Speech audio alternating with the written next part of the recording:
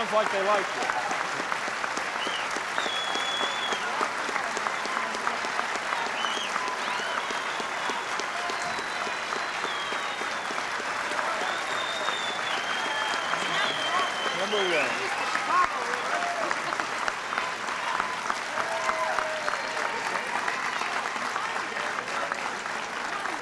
Ladies and gentlemen,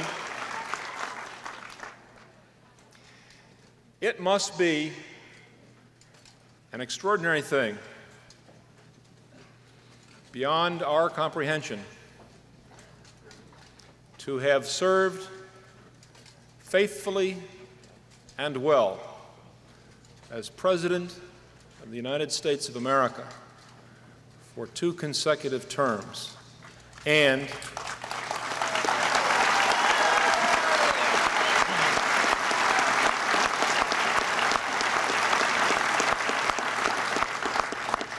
and to have carried with him through those terms the affection, the love, and the respect of the American people, regardless of party or philosophy. No words, good determination. The goals and principles of his administration will not end next January, but continue through the election of the vice president, a play-by-play announcer, side by side with Harry Caray, to cheer our Cubs on to victory.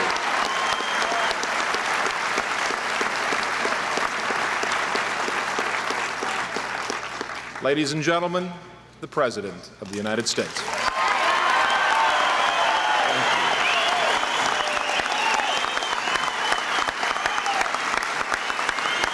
Thank you very much.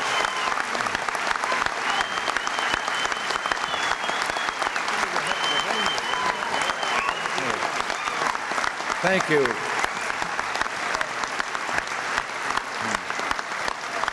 And Jim, I thank you for that introduction. And thank you, Mike Galvin and Dick Morrow. And I'd like to say hello to Congresswoman Lynn Martin, happens to be the Congresswoman where my hometown is or was, and my valued friend and old colleague, Howard Baker.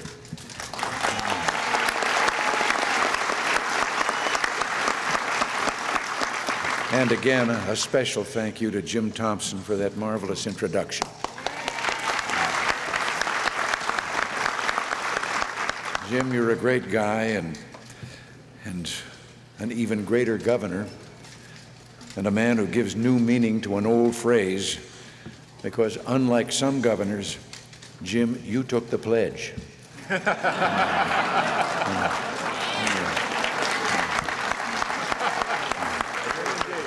now, they tell me I'm standing right in front of the pork bellies pit here. That's funny. I never knew Congress spent time in Washington. or in Chicago, I should say. They spend time in Washington and spend it and spend it. Hmm.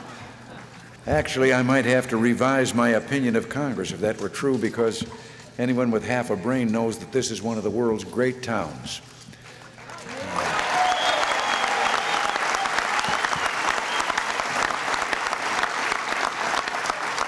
A city, a city that's home to Saul Bellow and Allan Bloom and Ernie Banks and yes, number 34, sweetness itself, Walter Payton. Let me tell you something about that town. It ain't no second city.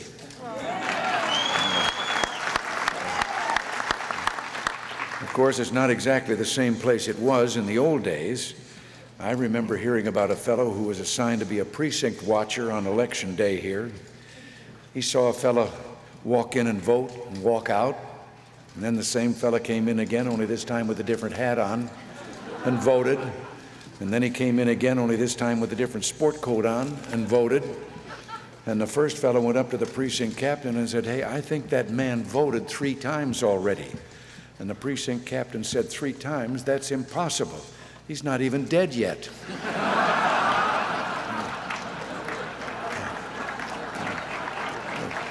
Seriously, it's a great pleasure to be here on the floor of the Merc because this is a place devoted to the future. And believe me, when you've had as much past as I have, you just love the future. just think only a few hours ago, traders and brokers were waving their arms, screaming themselves hoarse, betting on the future.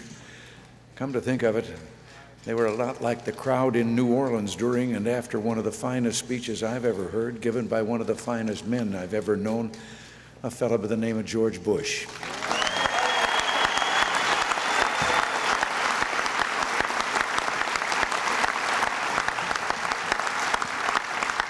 Some, some people want to talk this year about competence.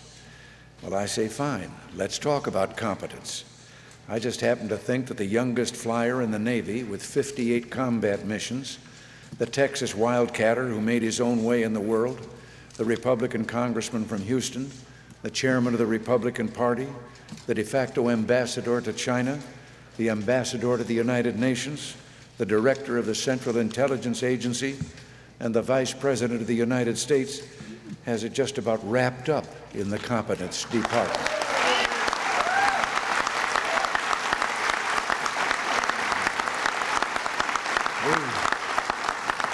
We've all seen what a brilliant job he's done in the past, and I can promise you he's going to do an even better job in the future.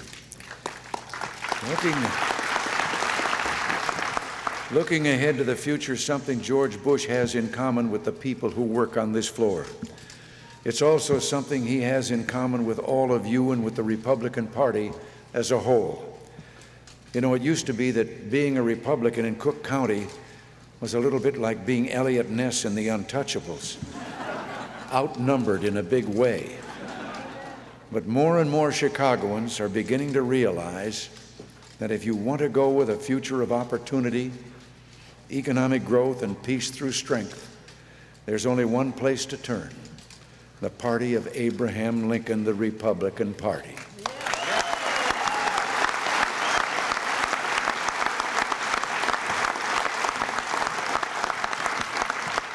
Delighted to see so many new faces in this room, a sign of the change in Republican fortunes in Cook County.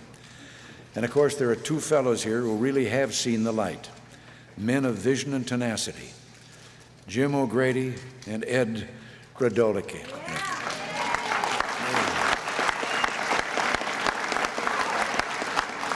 They saw the light and came aboard, which is fine by me. It's no secret, I used to be a Democrat before I saw the light, too. Only when I saw the light, I had to ask Tom Edison, what in heck is that thing anyway?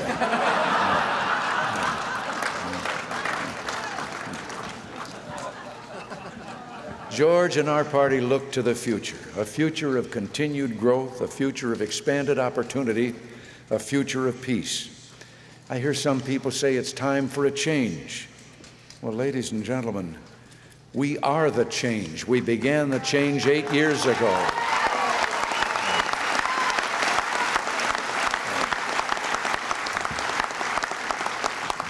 And let me talk a little bit about that change. We're in the 70th straight month of economic recovery. We We've been dedicated to slashing taxes and liberating the American economy from the regulations and confiscations of the malaise years. When we came into office, families everywhere were reeling from tax rates that were sapping this nation's initiative. We took that money out of the grasping hands of the Washington bureaucrats and put it back in the wallets of the people from whom they confiscated it in the first place the working men and women of America.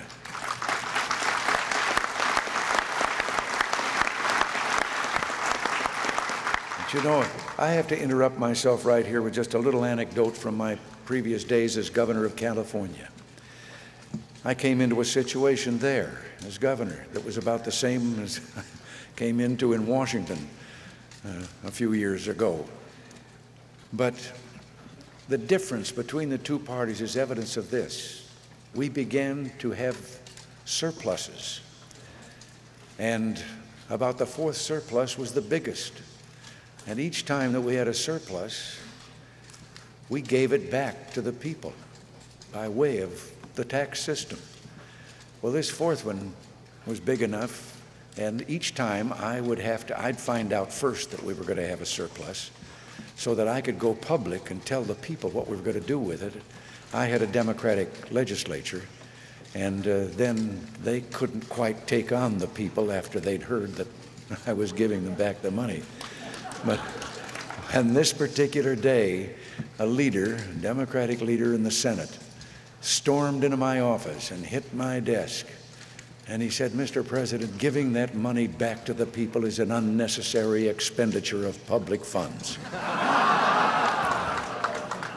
I think that kind of sums up the difference between our two philosophies.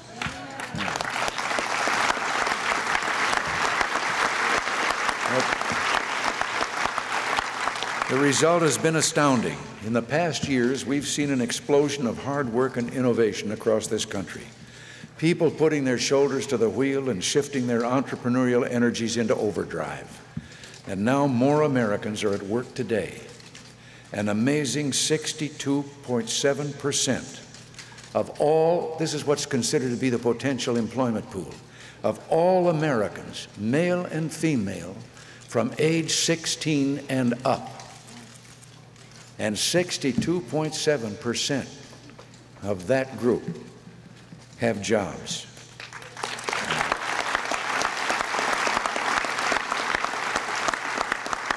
But we didn't stop there. We've gone to work ourselves on the educational system, encouraging the return to basics and demanding nothing less than excellence. Excellent isn't, excellence isn't just a good grade, it's a philosophy that says you must do your best because that is what it means to be an American. Excellence, that's our goal, and we're going to get it. We've gone to work on our judicial system, appointing serious minded judges who respect the Constitution and know the meaning of the word punishment.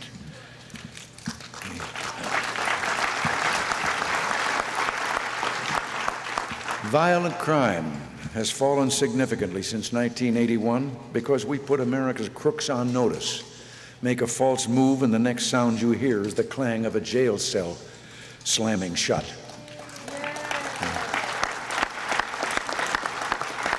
We've, we've gone to work on our nation's defenses.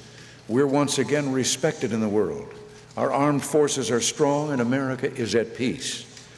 We and our NATO allies stood firm in the face of Soviet missiles pointing at the heart of Europe and Asia. And Mr. Gorbachev got the message. He did business because he knew we meant business, and we still mean business.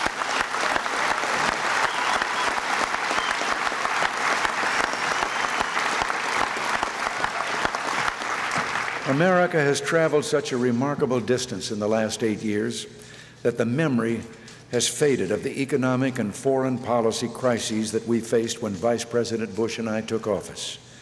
The last time so many things went wrong all at once was right after Mrs. O'Leary's cow decided to do the can can. Uh, yes, let's take a little journey back to the years before George Bush and I were sent to Washington. In just one year, 1979, Iran, Nicaragua, and Grenada were all lost our ambassador to Afghanistan was murdered by communist gunmen, and that country invaded by Soviet troops. And add to that what was going on at home the misery index, which you determine by adding the rate of inflation to the rate of unemployment. And that had been invented in the 1976 election. And it was used by candidate Carter or President Carter against Jerry Ford. He used this because the misery index was 13.4, and he said no one has a right to ask to be president with a misery index that big. Well, that was in 1976. In 1980, they never mentioned the misery index after their four years because it was now 21 percent. Well, today it's less than 10%, and it's been shrinking faster than Walter Hudson, the 1,200 pound man in New York, who just lost 700 pounds.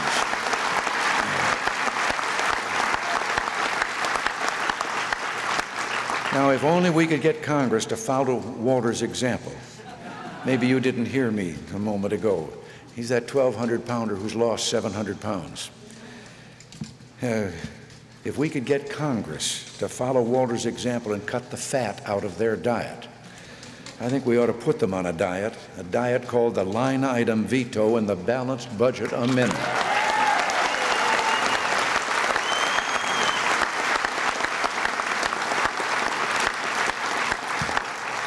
Now, you know when I'm talking about the Congress this way, present company is accepted. and a lot of her kind that are there on our side. Well, back in 1979, Americans were waiting in lines a mile long to buy gasoline. And a president went on television that year to blame it all on the American people, telling them it was all their fault. They were suffering from some kind of malaise. Well, it wasn't the American people.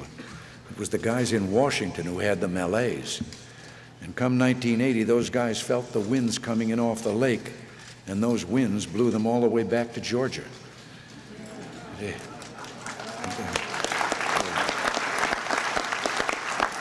Today we have peace and prosperity, and the liberals are trying to pretend those economic and foreign policy nightmares they gave us never happened. They're singing the same song they sang back then, and it sure isn't Don't Worry, Be Happy. It's more like Please Worry, Be Miserable. you can hardly blame them for trying to convince the country that good news is actually bad news. After all, what issues do they have to run on? Take defense. They opposed rebuilding our military defenses. They opposed the deployment of the missiles in Europe to counter the Soviet threat. They opposed the liberation of Grenada. They opposed the raid on terrorist Libya. They oppose our policy of helping freedom fighters advance the cause of liberty around the world. George and I did all those things, and I'll tell you how proudly right now we'd both do every single one of them over again.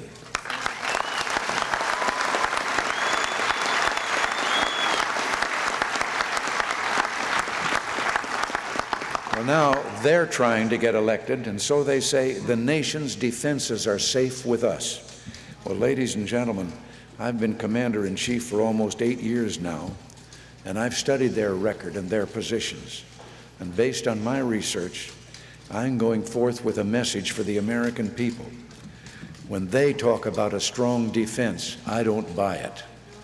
They oppose the death penalty, even for a crack dealer with a machine gun who murders a police officer in the line of duty. George and I fought to protect the noble men and women who protect us, and that means the death penalty for these vicious killers.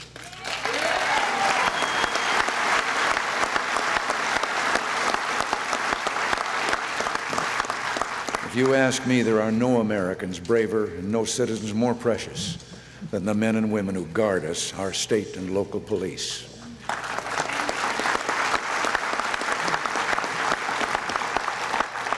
But the liberals, like their flagship, the ACLU, often seem to concern themselves with the rights of criminals and forget about the rights of the citizens those criminals prey upon. But now they want to get elected, and so they claim they're tough on crime. Well, I've examined that record. And we've all got to go out and tell the American people when they say they're tough on crime, don't you believe it. The liberals, the liberals opposed our tax cuts, our tax reform efforts, our economic program that slashed interest rates in half and put America back to work. Now they say they want to help the American middle class. And what they're planning to do for the American middle class is to tax them. Well, the traitors on this floor would understand what they're doing, and it's a message we all have to bring to our fellow Americans. The liberals are selling the middle class short.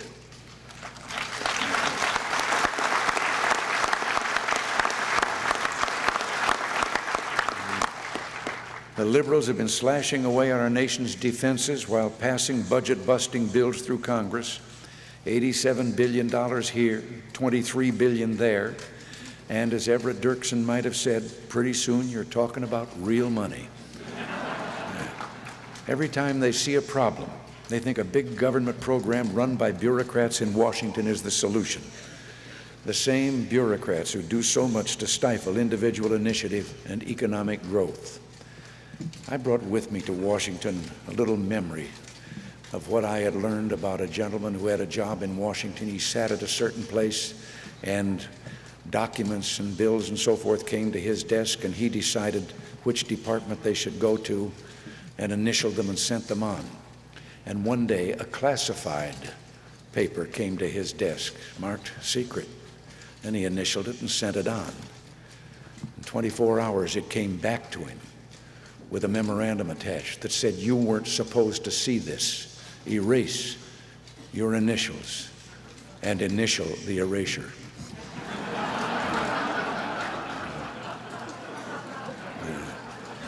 Well, the, now the liberals are talking about fiscal responsibility and how they'll pay America's debts. Well, once again, we've got to go out to the American people with a message. Don't look to a big spender to pay America's bills. There's a solution to the spending crisis. That solution is so simple, only a liberal could miss it. We, we just have to spend less.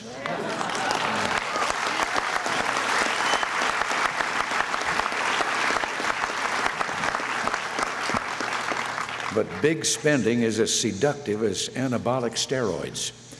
And it's time the big spenders were disqualified. We can accomplish that by giving George Bush what he needs to do the job a new Congress, a better Congress, a Republican Congress.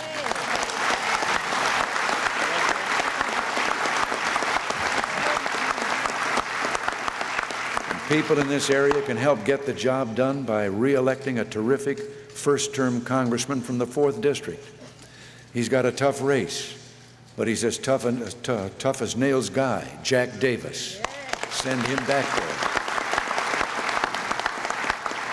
We're working hard to solve the drug crisis in this country, but we're facing some resistance. Guess where? With the liberals on Capitol Hill. That's where. The House has passed a drug bill with a lot of good and tough provisions, but now that bill is stalled in the Senate. I tell you this if the Senate were controlled by Republicans today, we'd already have signed into law that drug bill.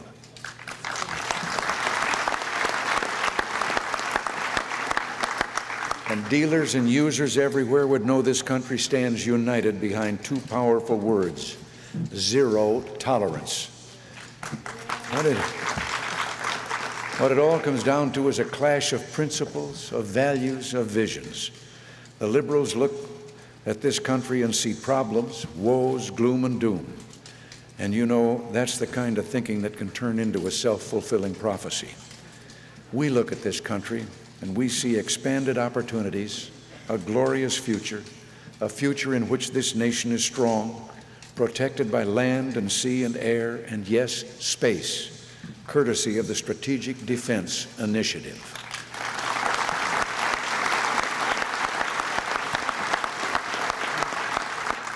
We look to the future and see a nation healthy, a nation strong, a nation at peace.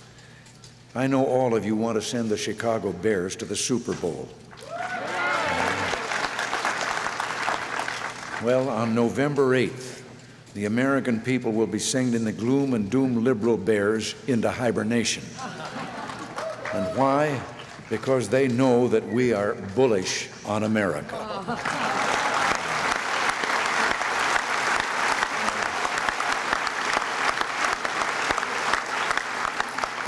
So let us go then.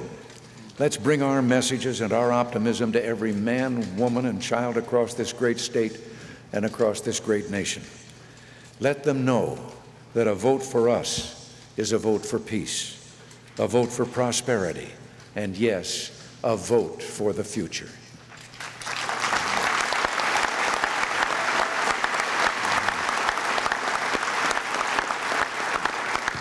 And I think I've kept you from dinner too long. I just want to say a thank you to all of you, not only for your warm reception, but also for what you're doing.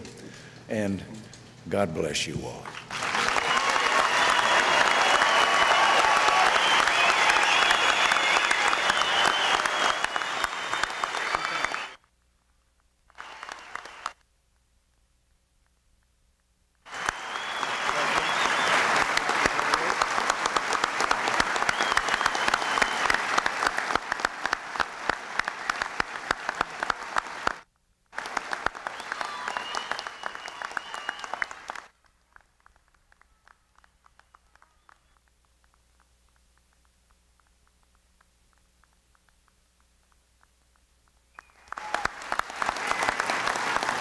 Mr. President, I believe I can speak for everyone here in expressing our thanks for your stirring comments.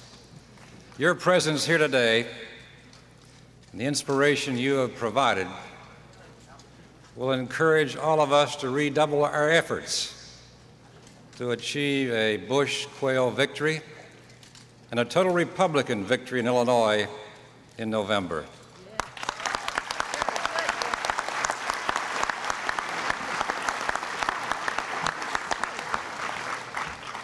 Mr. President, you truly have made our day.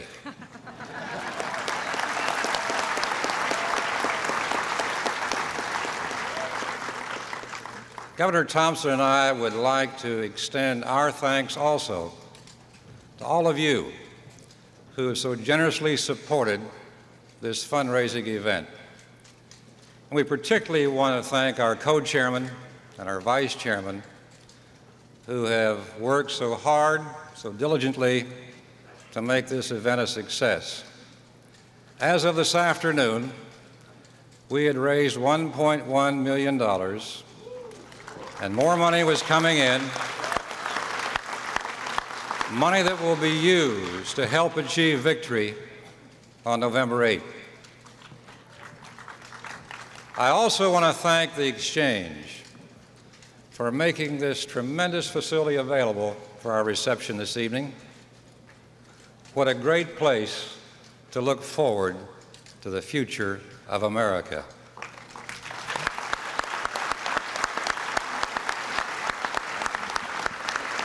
And now it's my great pleasure to introduce the chairman of the Executive Committee of the Mercantile Exchange, Mr. Leo Melamed for a very special presentation. Leo?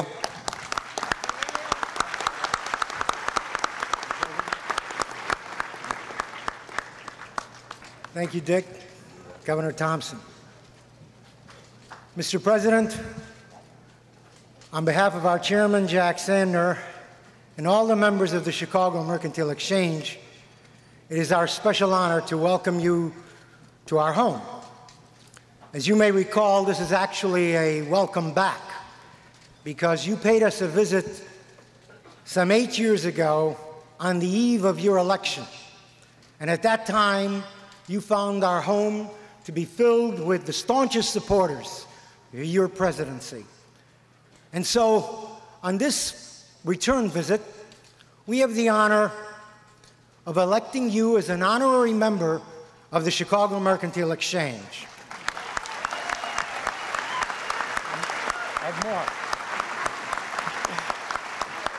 And on this occasion, we've prepared two special gifts.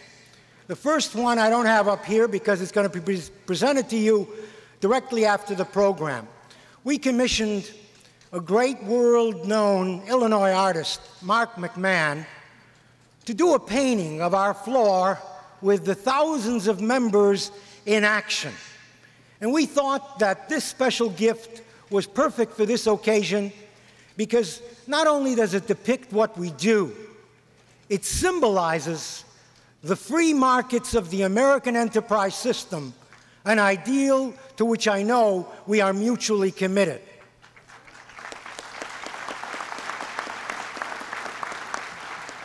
And, Mr. President, the second gift is one that we give to all. And so we've prepared one for you, Mr. President. We have a Chicago Mercantile trading jacket with your symbol RR as the badge, and on the back it has your trading company, Presidential Futures.